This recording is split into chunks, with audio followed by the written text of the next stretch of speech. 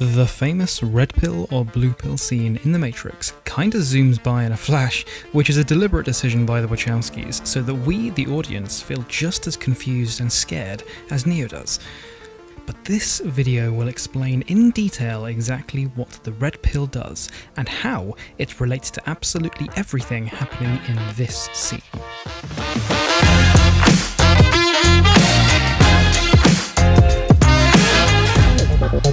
To a new viewer, one of the most confusing parts of this scene is why they're seemingly trying to find Neo, because we can see that Neo is right there. They've already found him. So when they say trying to find Neo and locate him, what do they actually mean?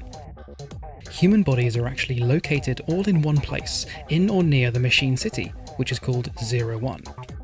The problem is that humans can't safely explore these power plants or anywhere near the surface of the Earth for fear of being found by Sentinels or other robots, as is seen in the Animatrix story Matriculated. There is also a Matrix comic called A Sword of a Different Colour about a human who has somehow managed to kidnap a Sentinel, and even he was almost killed.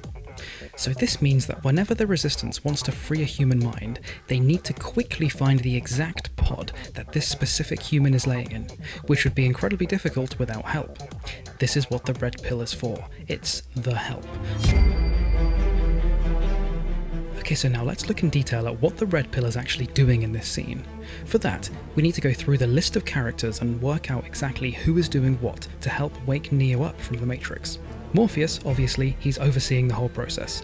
Trinity is checking on Neo's health. This is also evidenced on page 31 of the script, with the direction Trinity monitors Neo's electrical vital signs. APOC is locating Neo's real-world body from inside the Matrix. If we pause here, we see that one of APOC's monitors shows a human avatar within a computer setting. This is because APOC is using this model of Neo's body to find him within the Matrix. Tank is the hovercraft driver in the real world. His goal is to generate a signal specific to Neo's RSI and then fire it at Neo's pod to disconnect him from the Matrix. Switch, in my opinion, I'm not too sure about this, but it looks like she's at the kind of landline phone emulator device, the thing that Morpheus plugs that landline headset into. So my opinion is that Switch is kind of monitoring the whole process that turns Neo into digital data. And Cypher, he's simply floating around APOC, so it looks like he's just trying to help APOC. And Mouse, well, bloody hell, maybe he's with the woman in the red dress, who knows.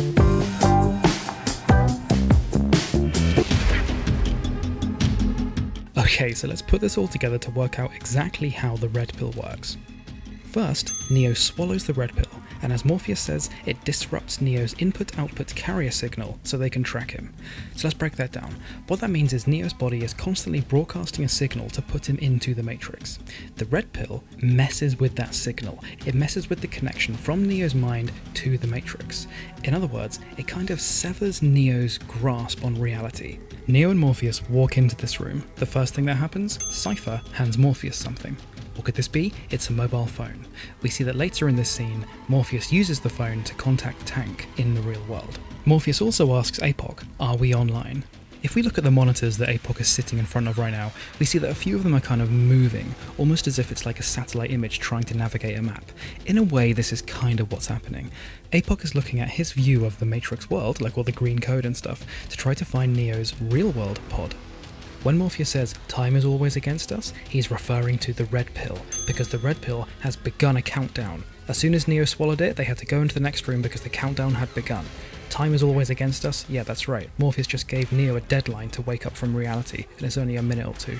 Next, Neo sits down and we see Trinity apply all these little pads to his body. This is so that she can monitor his general health. Cypher here looks through these goggle things, which again is just giving him a better view of the Matrix and the digital code. Morpheus takes this landline phone off the hook and connects it to some apparatus to allow Neo to shoot down the cable and out of the Matrix. Remember, this is how the Resistance travel in and out of the Matrix, by transforming into digital data and zooming through the cable. They call it an exit.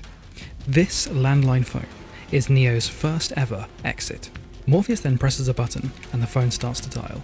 From my understanding, this phone is now dialing not Tank, because they're not sending him directly to Tank, remember. This phone is dialing the machine mainframe, because that's what Neo is still connected to right now. Morpheus then says that the red pill is part of a trace program that disrupts Neo's input output carrier signal. See, this is kind of the key about this whole scene. The red pill is designed to kind of mess with the machine's control over Neo. These resistance members are about to fire their own signal at Neo's pod so that he can zoom out of the Matrix. That's what the Red Pill does. We see this kind of thing in other items in the Matrix as well. Think back to the Matrix Reloaded, when the Merovingian creates that cake. He writes some cake within the Matrix using his own special code that gives this woman an orgasm. So therefore, we can conclude that people can swallow things, whether it's pills, cake, or cookies, which will have an effect on their psyche. Neo looks at the mirror, the broken mirror, and see it start to repair itself. This is only happening in Neo's mind. None of the other Resistance members see this. Look at Trinity's reaction. Trinity is not seeing the mirror melting, no one is, only Neo. The reason Neo is seeing the mirror melting is because the red pill has started to disrupt the input output carrier signal and sever his grip on reality. That's what the red pill's for. It's to make Neo's mind kind of forcibly wake up and say, okay, this is not real. So therefore, Neo is going to start seeing things unreal, like a mirror mending itself and turning into liquid. That's exactly why Morpheus says this line about a dream world and a real world. It's because he knows that Neo is now experiencing something unreal. The mirror is spreading across Neo's neck and chest because, again, he's losing his grip on reality because of the red pill. Morpheus opens the phone, speaks to Tank, and says, We're going to need a signal soon. Here, he's referring to a signal that Tank is creating. There is a signal that the machines put in place so that Neo could enter the Matrix with his mind from their pod.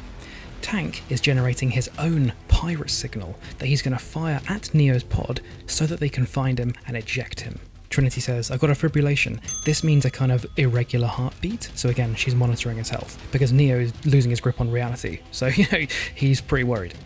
Trinity says he's going into arrest, as in he's about to have a heart attack, because obviously he thinks a mirror is about to suck up his own body. Apoc says, Lock, I got him. Morpheus says, Now Tank now. In that moment, Tank, from the real world, from the hovercraft, fires the pirate signal that's specific to Neo's RSI at Neo's pod. That allows Neo to properly wake up safely. Without that, the red pill would simply sever Neo's grip on reality, he would just wake up and die straight away. However, that signal that Tank fired at the pod saved Neo's life. It means that he could wake up safely, and that is exactly how the red pill works. It starts a countdown that slowly severs the person's grip on reality so that the resistance can fire their own pirate signal at the pod once it's been found and located for the person to wake up and be ejected into the sewers and then picked up. Thank you for watching that everybody. If it was a help to you and you really liked learning about the Matrix lore, then please subscribe to Jam Punch and I'll be releasing a brand new Matrix Explained video every single week. My name is George, this is Jam Punch, and I'll see you next time.